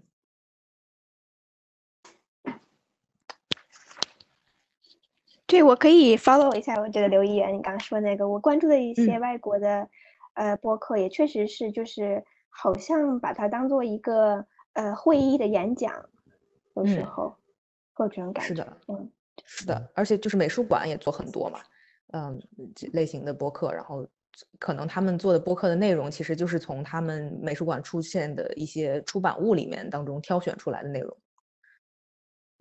国内的电影的公众号做的就是所谓的播客做最好的就是反派影评，大家有没有关注？他在过年的时候做了一期是什么奥斯卡猜想还是怎么着？他就是做的付费博客，然后一张一个博客好像是三块钱还是五块钱，结果有呃几万人还是几千人去订购，这个也是一种盈利的方式。它嗯，首先它是也是刚开始是跟对谈嘛，也是那种播客的形式，只不过它放在微信公众号上，反而效果还挺好的，就是观众肯付费啊，因为他觉得内容是内容是有价值的啊。嗯，对，就是因为昨天是跟那个依依聊的时候，他特别提到过一个，大家讨论这些新媒体形式的时候，其实过于的，呃，在意不同形式的之间的区分了，而不是从内容的角度。就关键，我其实现在想了解的事情，就是大家对，比如说在最近播客兴起的这五年里面，和和之前，嗯，呃，播客没有那么流行的时候。自媒体们选择选题的方向，或者是大家想聊的事情，是不是有一个转变？就那个内容有没有转变？其实我记得你之前好像说过，就是呃，我不记是不是我们之前的讨论有过，就是关于自媒体，它很多都是很细分的嘛。就比如说你说我们我我们现在在做的这个艺术类的读书的播客，那实在是太细了，对吧？就是它是非常 niche 的一个一个市场。那么这个。嗯，其实也是填补了一些呃所谓的其他的艺术媒体不愿意去做，或者他们没有功夫去做的。你说谁愿意看这种？嗯，这一千多页的一本就是讲讲女性主义的书哈，就是那我们就帮你读了嘛。你你听了我们播客，你可能就有兴趣，你可能就顺便就也特别有兴趣的话，你就自己会去读。没有兴趣的话，你听了以后，你也大概知道这些女性艺术家跟他们这个同年龄的这个男性艺术家的一些关系啊，包括当时为什么在纽约会有这些人的出现和被他们埋没之后，他为什么又能重新再再再站起来等等。就是嗯，这些耗时的事情就体现了一个，就是所谓自媒体的自的那一个字嘛，就是所谓的自发的。就是如果你自己没有兴趣，嗯，去做这件事情的话，它是它是做不出来的，因为这些是可能传统媒体或者是其他的这种大众媒体没有时间，不愿意去做的这些事情，我觉得自媒体是填补了这个空缺。包括我觉得凹凸镜也是，你说，嗯嗯，就是我觉得就是纪录片儿就是一个非常不赚钱的事情了。你再去做一个纪录片儿的媒体，那不是说不赚钱中的不赚钱，就是如果没有自己的这种真的一个一个一个喜好和这个热情来说的话，就是做不下去的。而且我觉得自媒体最大的一个好处也是因为它的热情和呃自我喜爱，所以它。反而能坚持做的比较久，嗯，我我就看那个，我不知道，可能钱穆尼和呃雨思在那个朋友圈里的艺术圈的这个人是可能比较多。昨天就是另外一个哦，我看到张新伟也也发了，就是这个打边炉，对对对，我还给留了个言，就是因为我觉得打边炉是艺术圈呃也是自媒体最近这几年来说口碑做的非常好的一个自媒体嘛。那么他们嗯，这个这个创始人这个钟刚以前是也是南方派。嘛，南方系的记者出来的嘛，然后呢，他在做这三年之后，他写了一个三年的这个寄语，我觉得从那里面我得就是有非常非常多的共鸣。他里面也谈到了，就是坚持，坚持是，嗯，做什么样子的事情都是非常重要的一点。然后就是还有就是你慢慢的去慢慢去做，然后怎么把一件我们看起来就是嗯小的事情做好，其实是我觉得很多自媒体人在努力的一个方向，嗯。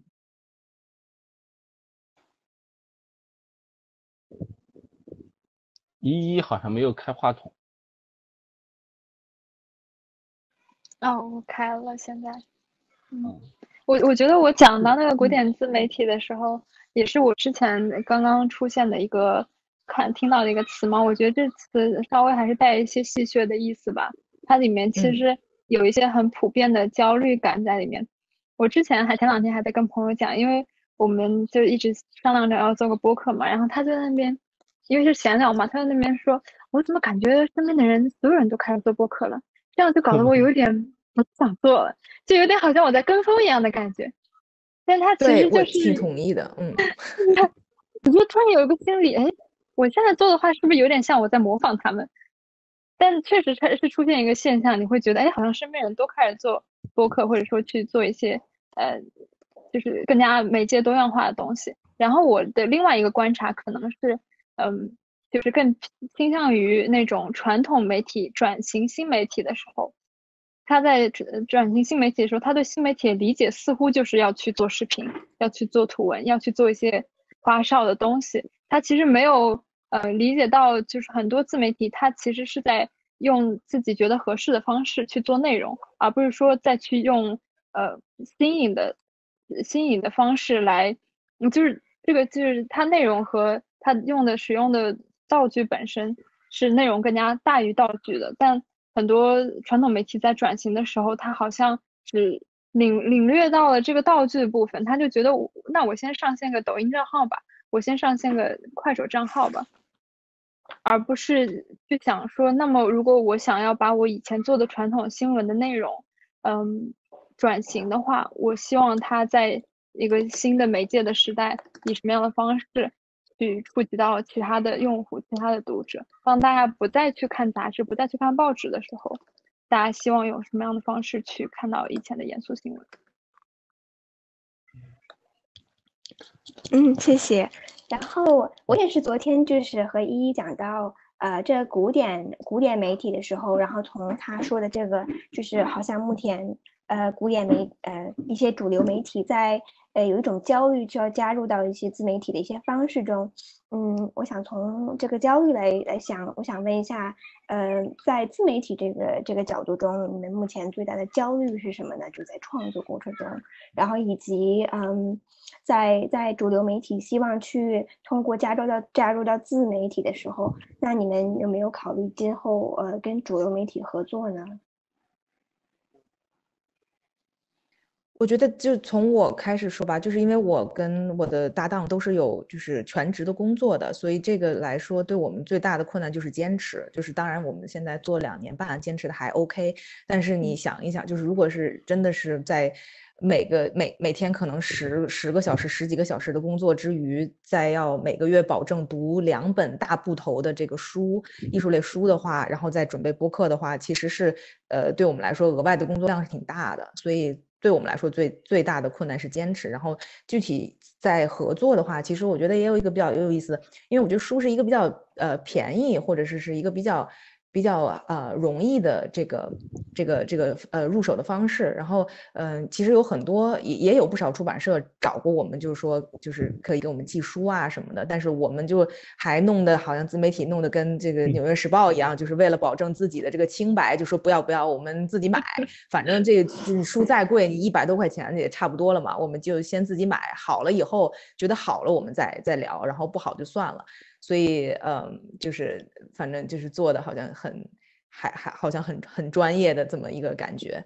嗯，我们因为没有盈利的压力，就是我们嗯的团队基本上都是我在画廊的团队，就是就是对员对我的这个员工来说非常不公平，就他们额外多了一份工作，做剪辑啊，然后做我们 show notes 啊，文字的整理啊，都是我们自己的人，所以我们基本上是没有什么支出的，唯一的支出可能就是我们自己的时间和就是嗯所谓的做一个网站，嗯，其他的都完全没有，所以是一个比较轻松。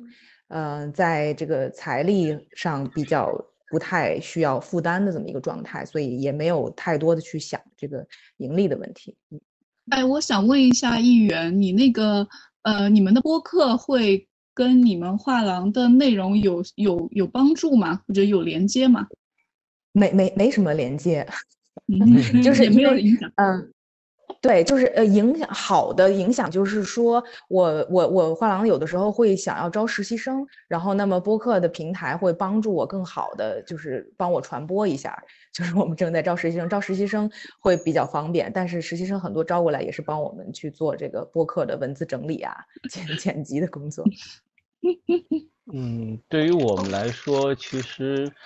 我们坚持这个，我觉得坚持对于我来说很容易，因为我们不像议员，他那个需要。大部头的书去收集，我们更多是可能新闻啊，包括一些影评那种多一点嘛。但我的焦虑就在于就是盈利模式吧，因为说实在做这一两年就是呃会越做越好，但是一直在刷脸，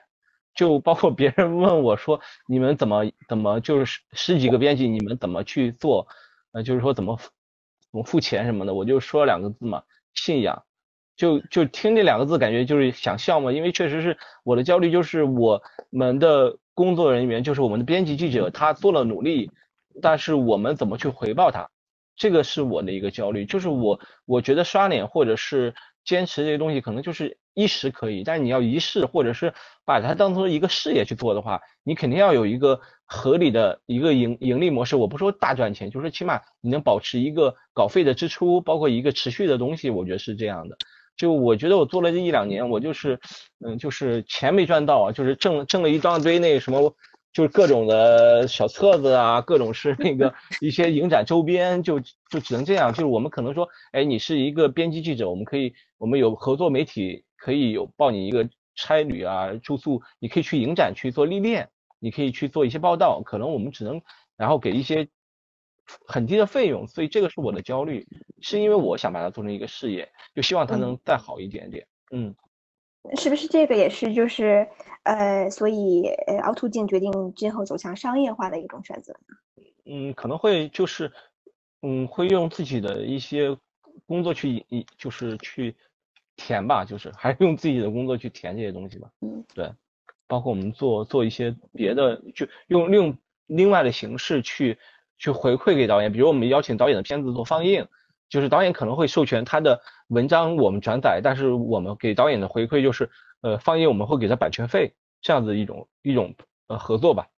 嗯，或者给导演做制片的工作这一块，嗯，就想就延伸一点，就还有一点就是我觉得做这个公众号特别容易自我满足。就每天会发现，哎，今天又涨了好多，呃，多少粉丝就很自我满足啊。发现，哎，别人说，哦，你是那个哪个哪个公众号的，我看过你文章，特别的满足。但实际上，我们其实是还是很小众的，但是就会陷入一种幻觉里。就我举个例子，就有一次我是拍纪录片的嘛，我是给一个同事拍纪录片，我做摄影，然后他们那个同性恋的影展开幕。然后一个酒吧里有一百多个男同志，加上我一个那个对直男，你会发现在那里面直男反而是小众。就同样的，我在这个公众号里面，我觉得做纪录片很多人知道，但实际上在大的范范围内，我们还是一个小众啊这样子。对，变现确实挺难的。嗯，一一我觉得可能像对我们来说，就主要是时间成本，倒不是人力成本吧，因为主要也没有想要去盈利什么的，就是因为时间成本实在是太要求太高了，所以就导致现在停更了嘛，嗯，没有坚持下来。那以后还是有机会的时候，还是希望能够继续思考以什么样的形式继续下去。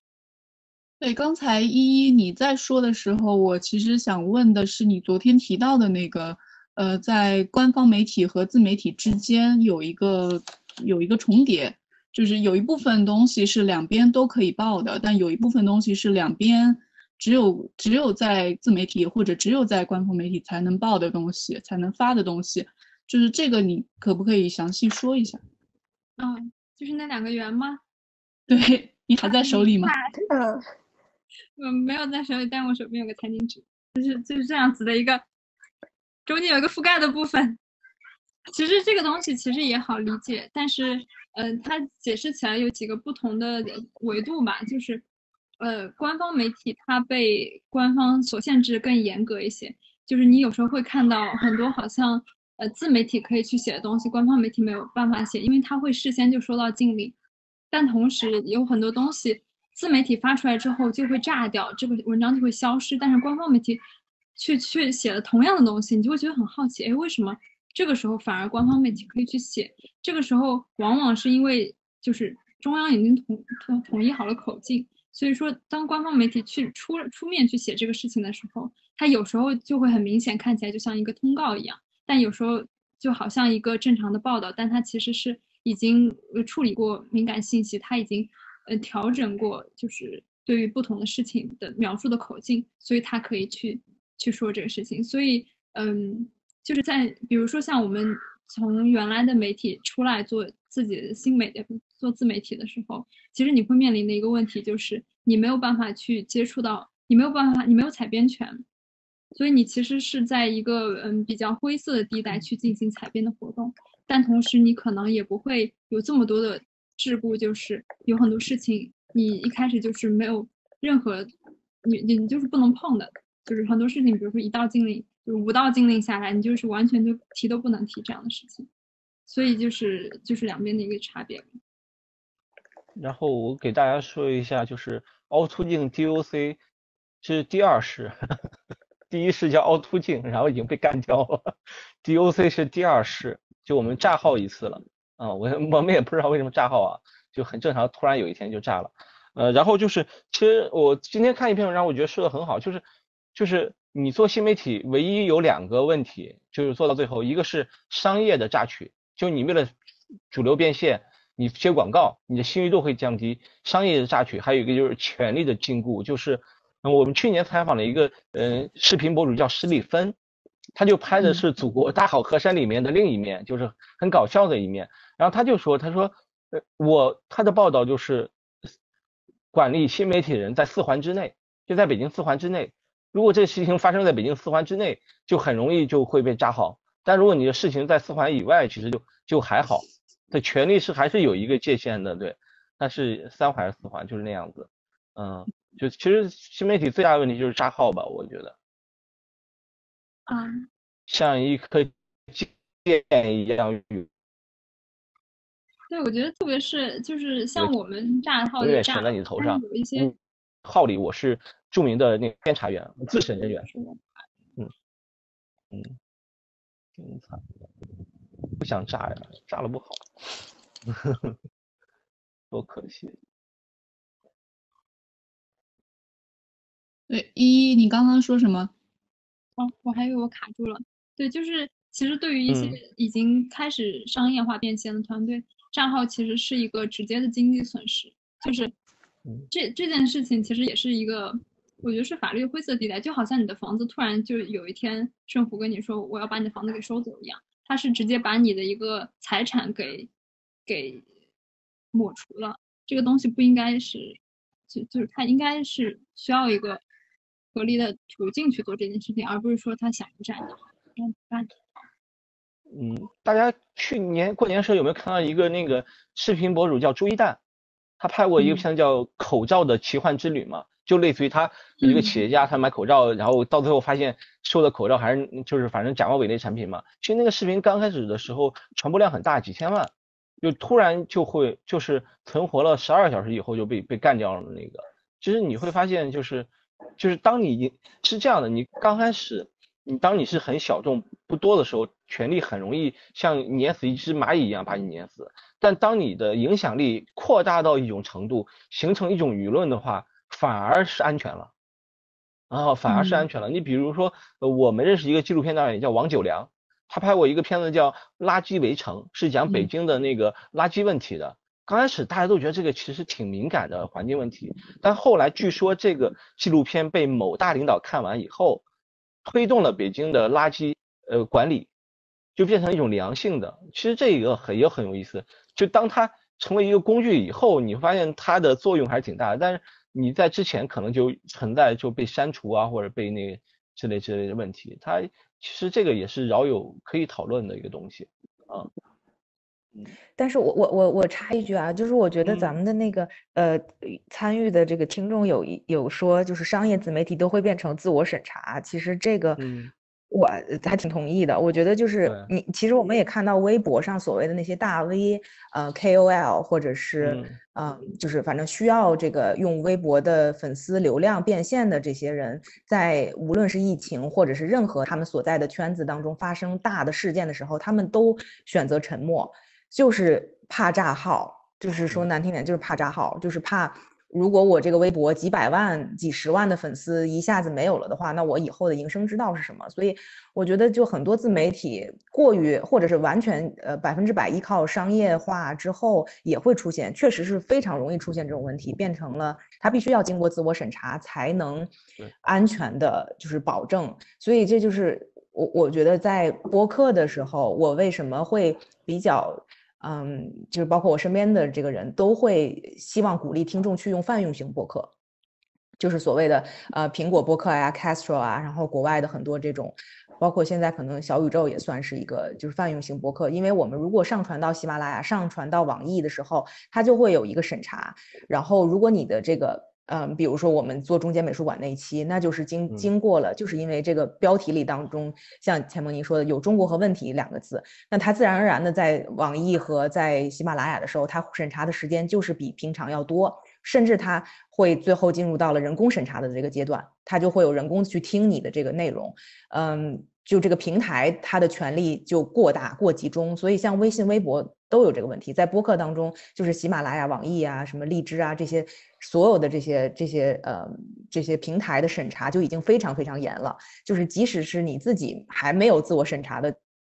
呃之后，你就是这些平台也会帮你。全部都剔除掉，所以就是我们也希望自己不要太过于依赖于这些大平台给我们的流量。然后呢，我觉得在国内，其实你就是你很难想象有谁可以有这样的能力和这个权利去做这些事情，而且即使有这样权利和能力的人去做这些，呃，这些人可能对做这样的事情他没有什么兴趣。所以我觉得在国内挺难的。然后就像我们说的，如果是国内比较做的比较好的这些大的这些主流艺术媒体，他们又因为商业的原因没有办法做这些事情，因为可能很多时候他不能去卖他骂他们的金主爸爸吧，就是可能这些拍卖行对吧是他们的金主，这些大的奢侈品牌是他们的金主，那他们在做选题和很多讨论的时候都已经是没有办法去聊了。所以就是嗯。就是就是这个艺术艺术圈主流媒体也已经从这个可能的讨论当中已经剔除了，然后自媒体又没有这样的人可以去做这样的事情，所以嗯，是否可以做可以做，但是有没有这样的人，我觉得就比较难。嗯，好，嗯，然后雨思依依和新伟有没有什么要补充的观点啊？嗯。呃，我在想，我们今天的就最后，我其实还是很想知道三位呃自媒体人，嗯，就是日常关注关注的一些新旧的这个媒体号，包括官方媒体和自媒体的一些呃平台，你们都会看什么平台？于是给大家分享一下吧。呃，大家可以扫描二维码关注凹凸镜机构 广告时间已经关了，已经关了。对，然后我我我我会看一个叫差评的，嗯，还有对，差评还不错，嗯。差评是什么？是差影差评评吗？没有没有，它就是一个类似于就是又类似于泛科技方面的，对，它很有特点。它每天晚上十二点，十二点凌晨凌晨十二点，然后那更新，嗯，就还差评还挺，就叫差评。他以之前传出来他们要被腾讯收购嘛，有一次闹得挺大的，哦，我挺喜欢那个号，嗯，差评。然后我觉得那个新新京报的那个新京报的那个文化周刊那个还可以，嗯嗯，他那个做了几期选题，就是他虽然是传统媒体，但是他做的那个公众号还还是蛮有意思的，嗯，新京叫新京报书评周刊，他做的不错，啊，对，这个我也看，我每每一期都看。对对。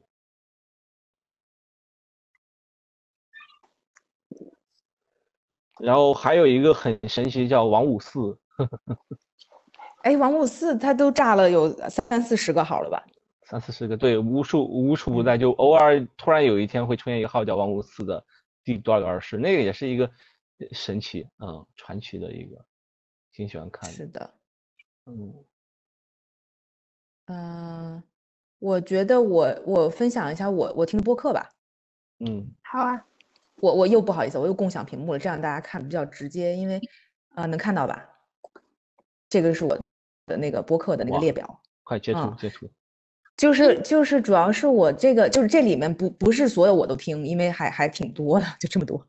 就是这里面是嗯有很多也都是朋友推荐给我，有很多我自己也没有听过的。然后我觉得比较有就听的比较多的还是 BBC，就是大家要正好也就就当学英语了嘛。你就 BBC 三的这个 Arts and Idea 就是有很多关于就有他会邀请很多嗯所谓的就是呃思想家呀、哲学家呀、作家呀、艺术家呀都有，就是来讨论各种各样的话题。然后 Art Tactic 是一个嗯，Art Tactic 是一个艺术的，算是什么，也是算是艺术咨询公司自己做的，有的时候讲的都是跟艺术市场相关的。然后 Boomier 也是一个，嗯，也是我一个朋友在做的，有点像这个，呃，是中文的，在讲这个，嗯，也是艺术圈的这些采访。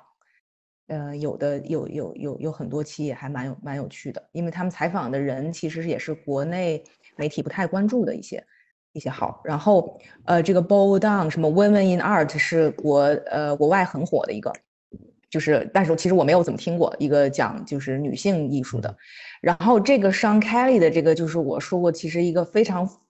反面的。一个一个播客的类型，他就是这个 Sean Kelly 是什么？他就 Collect Wesley，他就是每一期去采访一个藏家，讲这个藏家的收藏啊，他们的心路历程啊等等。但是他非常不好的 Sean Kelly 是纽约的一家很大的画廊，然后呢，那他采访的全都是就是这个艺术圈非常顶级的这些藏家。但是你想，一个画廊老板去采采访藏家，他出他他能不舔菊吗？对不对？他一定要夸呀，他一定要说哇，你的收藏多么多么好。但是他他不会去问这些藏家，那你赚了多少钱，对吧？所以我觉得这个播客就是我我看来非常有问题的一个播客。嗯，然后我自己还会听，当然 In Other Words 就是很多人都知道的一个非常好的，就是请的这个呃聊天的嘉宾都是顶级的这个这个艺术世界的这些人，然后其他的啊 Talk Art 就是我刚才说的，就是他们这两位嗯主持人今年年内会出一本书，他们是艺术圈自媒体最大的号，最大的博客号，他们的这个收听量有差不多十几二十万每一期，嗯。嗯，对，这些都是。然后这个也是我每期必听的，也是我以前的老东家，就 Our Newspaper，他们这个英国的一个呃艺术算是行业内的媒体，嗯，他们自己做的 Art Weekly，就是每个星期的这个一个新闻的讨论，这个做的也很好。然后，但是哦，这一个是我现在最喜欢的一个博客，强烈推荐，但是不太好，就是需要翻墙。呃，但是我是每期必听，它其实才做了一一个呃两个月吧，是这个呃英国的《泰晤士报》。出的这个，嗯，叫 Adventures in Art，是两位，就是一个是艺术评论人，一个是艺呃艺术史学家，聊这个也是聊艺术，但是他们两个人在节目里天天吵架，而而且每一个节目都不长，就大概都是四十分钟以内，但是每一期节目都在吵架，而吵得非常精彩，就是呃每个人的观点都很强，然后你会觉得两个人说的都有道理，但是他们在吵架的时候呢又非常不留情面，呃，反正我觉得这个就是一个我我我自己听起来会很爽的，嗯。然后中文的播客就是天书和陆书，我听的比较多，就是两个都是讲中国古代艺术，或者是呃天书是讲跟这个中东啊、伊朗啊等等这个相关的一些一些艺术。对，这就是一些我平常会听的艺术类的播客。对，那个滴滴有个网友滴滴问说，平时怎么看朋友公号和朋友圈？感觉花很多时间会浪费。嗯。我是觉得可能大浪淘沙吧，就到最后可能会看的就那几个，哦，很多号就自己就不更新了。嗯，哎，对了，我还推荐一个号，是我认为在中国写那个就写写非虚构写作或者写特稿写的特别好的，他反而不是说他是个时尚媒体，叫时尚先生，他反而写特稿写的特别好。嗯，他们有一个特稿的部。对，然后去年参加西榜的活动的时候，好像是。时尚先生在分享他们做那个特稿，然后我觉得写的还蛮好的，就是对，反而是一个这这种，包括那个男人装也是，他之前做的号很有意思，不，对，他们他们就是典型的那种，嗯，有足够的钱去养一个记者三四个月写一篇特稿的媒体，但但写的我觉得还蛮不错的，说实在，因为有时间，嗯。一一推荐，一一推荐快。我刚刚看了一下，因为我可能因为平常工作原因要看很多很多的东西，然后百分之九十九都是垃圾，所以要在里面 挑好的出来。有一个之前我看到的所谓高中生做的号叫哲学社啊，我看的，嗯，很喜欢，特别厉害，每次看完都觉得自己是不是有一点。看完了以后觉得中国有希望啊，对，但好像他们现在也不是全部都是高中生在做，但一开始确实是一个高中生类型的社团类型的东西，就长大了吧，进大学了吧，但就是很厉害，在很多事情的分析上面是，嗯，我觉得比很多媒体都做的要透彻，是，没错，是非常有基础的，有有就是，嗯，就是话是落在实处的那种感觉，对，嗯。然后，嗯，像播客的话，我我新闻我会听，就是呃，美国那个叫 NPR，就是嗯，有吧，嗯，国国家电台那样的，他们每天都会有，就是像早间新闻，每天就是会告诉你昨天发生什么，这个是我非常喜欢的一个播客，就是日常会听。然后 NPR 自己下面还有很多下属的播客。嗯，有一个是专门讲那个叫 Money Land 吗？还是叫什么？反正是讲财经相关的。我之在疫情期间，他们会讲很多就是跟疫情相关的，就是钱的故事。然后也是以那种就是我我是觉得这是国内现在还没有做到一个很好的一个品类，就是呃播客形式的报道。他们是把播客形式的报道做得非常非常极致的那种感觉。他们会真到现场去采访人。所以你会有一种身临其境的感觉，你好像在跟着这个这个声音，然后到达那个犯罪的现场，然后听到当时的很多不同的人，他都发表什么意见，他看到什么样的东西。嗯。哦，还有就是普利策好像是今年还是去年第一次把那个播客也加到了一个报道奖里面，就是他第一次出现了播客这样一个普利策的，就是报道的品类。所以也是一个大势所趋，有意思。下面要加油。嗯，对，艺术类给我们颁一个。对，我觉得其实做垂直挺好的。你越垂直，你的受众其实虽然很小众，但是更精准。对你不会说说，就是他听肯定是你这个行业里的，然后你们再进行交流，我觉得还蛮蛮有意思的。而且自媒体就是很多平台联系你的时候，他们会经常会跟你说，我会给你们导流。嗯啊，动不动就是我给你导流，给你导流，我就去帮你导流什么的。然后我觉得这导流这个流有用吗？就是这些人留存不住啊。然后而且他们就有可能是算法怎么不小心摁到了或怎么样，这个要要他们有什么用呢？所以我经常会看到别人就说你有什么艺术圈的呃什么大号啊，一看喜马拉雅或者荔枝啊这样的平台，一看上面点击率我都吓死了，就是什么几百万都是这样的数字。我说我们就是一两万，就是我们是后台接的这个所有泛媒体的这个数据，呃，我们的数据，我觉得我宁愿给别人一个比较真实的嘛。那我觉得，既然如果你是在一个什么播客平台有几百万的播放量，为什么我从来没听说过呢？就是这样的情况还蛮多的，嗯。嗯，而且我们我，而且就是我们做的号也其实也挺挺挺受挫折的。比如说你好是很认真写一篇文章，可能浏览量不如一个所谓的什么呃呃呃跨性别啊，或者是一个所谓的社会议题，一下哇几十万的阅读你就崩溃了。你其实那个可能是就比如我最近有一篇稿子就是新发地嘛，就是疫情在新发地爆发嘛。然后我就找到了一篇去年的一篇某个号发的，那号去年才几千点击，然后我们转发了一下，可能是触发了串触发了算法吧，我们那个二条竟然有两万多点击，然后那个号原原号开给我们开白的那个哥们儿都快疯了，说我们那号本来本来那篇文章很少人关注，就因为你们转发突然有好几万，我说我但是我觉得就刚才我刚才那个梦怡说的就是就是。没有意义，议员说的没有意义。你这个两万多的数据，就是他们因为这个搜到你了，去看一下，没有任何的，我认为没有任何意义。这个数数字没有任何意义。对，没错。就像我们做这个播客里面也是，就比如说我们平均的收听是一两万的话，可能出突然某一期的标题里出现了一些很大牌的名字，像毕加索呀、洛克菲勒呀，然后那，可能他就冲冲上了十倍的收听量。但是这些人是留存不住的嘛？嗯，就是可能别人不小心怎么搜到了你而已。对，所以说关于新媒体的这些，就关于这个流量啊，然后粉丝啊，就这些的讨论，其实跟过去媒体的那个状态是一样的。就是，呃，首先我想借这个这一次的讨论，能够强调一下，就是向大家强调一下媒体意识，就大家要知道自媒体和官方媒体的这个区别。然后再有了那个大家在关注这个大号那个小号的时候，也要有一个意识，就是，呃，大号不见得就好，小号不见得就不好。然后它是个人的还是一个组织的，其实关键它的核心的价值还是看内容，然后也要看呃做号人的就是自媒体人的本人的立场，就是这个事情，呃，才是最最本质最关键的吧。然后我最后其实今天已经超时了将近半小时了，就是感觉很开心啊，就是跟大家有聊特别多的好很好的内容。然后我其实就是想说做这个对谈之前的初衷，其实就是想